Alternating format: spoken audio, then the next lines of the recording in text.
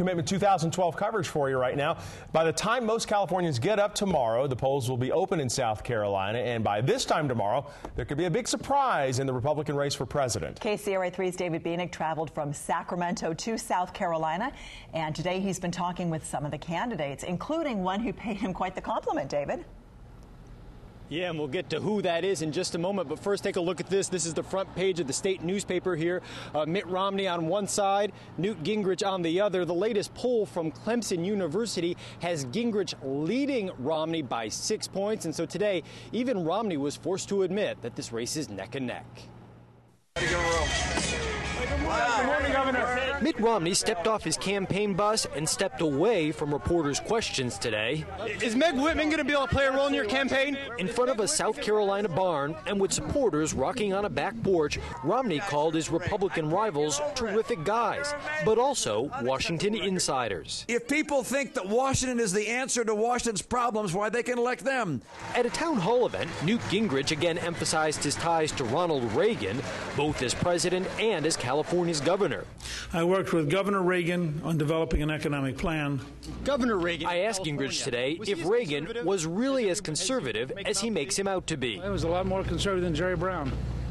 He legalized abortion, though, and raised taxes in California. You have a good memory for history. Said it was the biggest mistake of his life.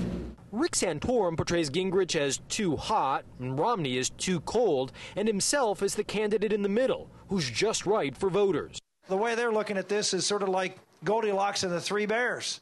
With the polls set to open in less than 12 hours from now, South Carolina's presidential campaign is promising some surprises. Campaign is certainly heated up. Uh, the uh, debates last night were very interesting.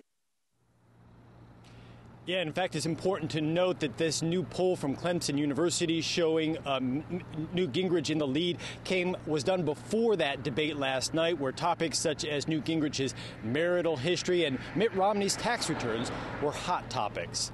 Live in Columbia, South Carolina, David Bieniek, KCRA 3 reports. David, you do have a good memory for political history, not to mention doing your research. But we wanted to ask you about the biggest political rally there today. It wasn't even supporting a real candidate. Yeah, it was by Stephen Colbert, who many people may know is a fake conservative talk show host and now a fake conservative candidate for president. Today, Colbert held a fake campaign rally in his hometown of Charleston, South Carolina, along with Herman Cain, who you may remember dropped out of the race for president but is still on the ballot here in South Carolina. Now, Colbert urged voters here to support Cain. Cain said, don't waste your vote on him. Overall, it was simply a way to lampoon the current political system, but it, it attracted 4,000 people, which was the biggest rally of the day and the envy of all of the real candidates here in South Carolina. And uh, David, thanks for sparing us uh, listening to Herman Cain sing. I guess we could see him doing something there at the event. All right, appreciate that. David Bieniek.